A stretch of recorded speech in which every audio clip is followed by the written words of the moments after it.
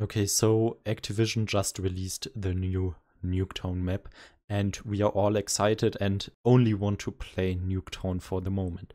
So what you want to do is to click on multiplayer and then go to find a match. First choose your game mode, select, deselect your favorites and then go back.